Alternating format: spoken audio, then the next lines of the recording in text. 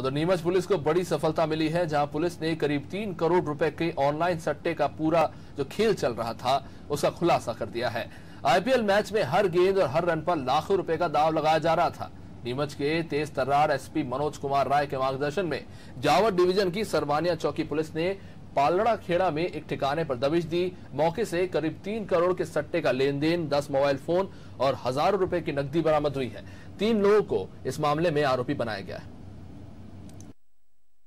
कल सरवानिया चौकी क्षेत्र में आप पालड़ा खेड़ी जो गाँव है, वहाँ पर सूचना प्राप्त हुई थी कि कुछ लोग वहाँ पर बैठ के ऑनलाइन क्रिकेट का सट्टा कर रहे हैं।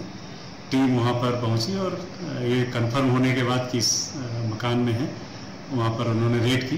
रेड में मौके से एक लैपटॉप ग्यारह मोबाइल और इनके बड़ी संख्या में, काफ़ी बड़ी मात्रा में हिसाब किताब मिला है, जिसमें पिछले कई दिनों से सट्टा कर रहे थे हाँ। तीन लोगों को नामजद इसमें आरोपी बनाया गया है पुलिस इसमें आरोपियों के लिए तलाश कर रही है